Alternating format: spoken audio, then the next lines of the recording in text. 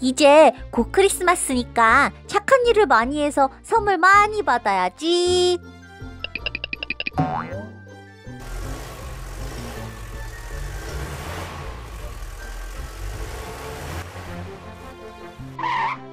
할아버지, 그럼 이 의자를 트럭에 실어드리면 되는 거죠?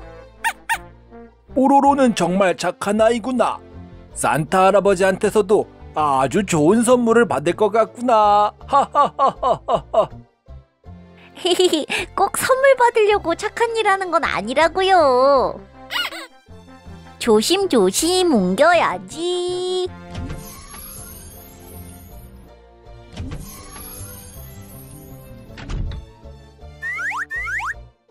뽀로로, 뭐 하고 있어? 응, 할아버지 의자 옮기는 거 도와드리고 있었어. 절대로 착한 일에서 크리스마스 선물 좋은 거 받으려고 하는 거 아니야. 아, 맞다. 이번 주가 크리스마스잖아.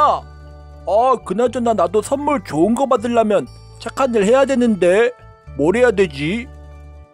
큰일 났다. 큰일 났다, 크롱. 정말로 큰일이 생겼다고, 크롱. 크롱아, 무슨 큰일이 난 건데?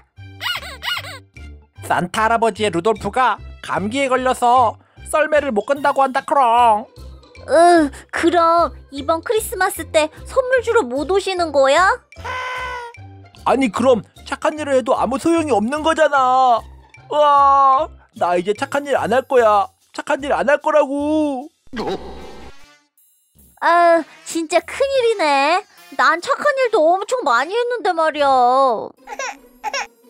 더 무시무시한 이야기는 산타 할아버지네 동네는 약국도 없어서 감기약도 못 산다고 들었다 크롱.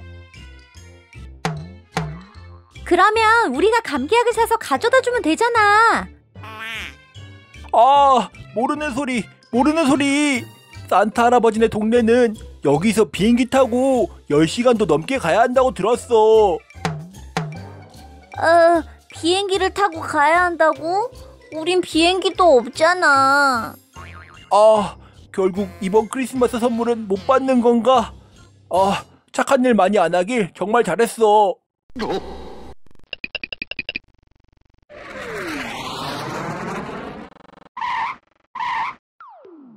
우와, 비행기다! 비행기가 나타났어!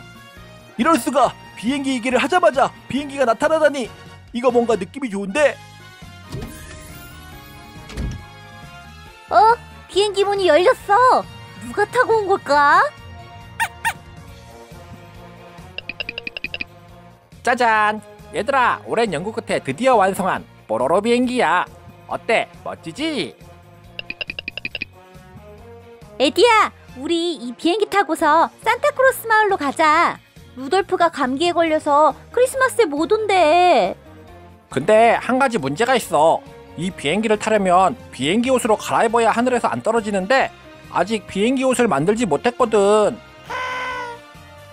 여러분 걱정 마세요. 제가 여러분의 비행기 옷을 입혀드리겠습니다. 얍! 뽀로로는 비행기 조종사가 되었고요. 베티는 스튜어디스로 변신했습니다. 나머지 친구들도 전부 비행기에 탈 수 있게 몸이 커졌습니다.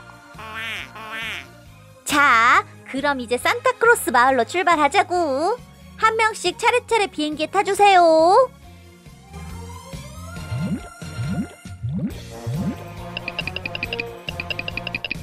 전 이 비행기의 스튜어디스 패티입니다. 필요한 게 있으시면 언제든 절 불러주세요. 전 이 비행기의 조종사 뽀로로입니다. 여러분을 목적지까지 안전하게 모셔다 드리겠습니다. 아 떨린다 떨려 난 태어나서 비행기 처음 타보는 거거든 여러분, 우리 비행기는 이제 곧 이륙을 하겠습니다. 모두 안전벨트를 매주세요. 뽀로로 조종사님, 안전한 비행 부탁드릴게요. 그럼 출발! 자, 그럼 뽀로로 비행기 출발합니다.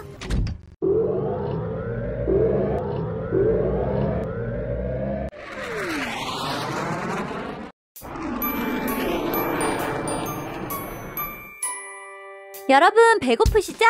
이제 점심시간이니까 의자 앞에 있는 식탁을 내려주세요. 맛있는 점심을 드리겠습니다. 오, 밥을 준다고? 오, 예. 어, 근데 도대체 식탁이 어디 있는 거지?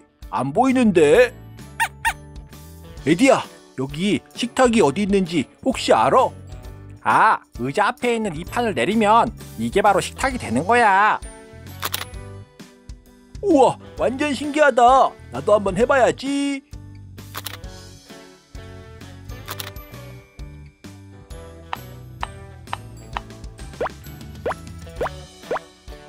우와, 이 비행기 완전 좋다. 먹을 것도 주고 말이야. 뽀로로 비행기 완전 사랑해요. 짱짱맨. 여러분, 그럼 이제 산타크로스 마을까지 곧바로 날아가겠습니다.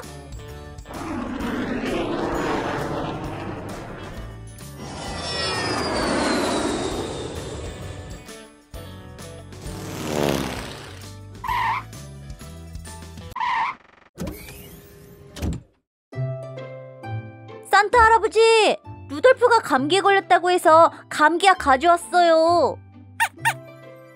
오, 얘들아, 너무나 고맙구나. 그렇지 않아도 루돌프가 독감에 걸려서 크리스마스 선물을 어떻게 주러 가야 할지 정말 걱정이었는데 너무 고맙구나. 걱정 마세요. 저희가 가져온 감기약을 먹으면 금방 건강해질 거예요. 헤헤. 근데 감기약 누구한테 있어? 어, 나한테는 없는데 크롱. 어, 이럴 수가. 제일 중요한 감기약을 안 가져온 것 같아. 어... 우와, 감기약을 안 가져오다니. 으, 내 크리스마스 선물.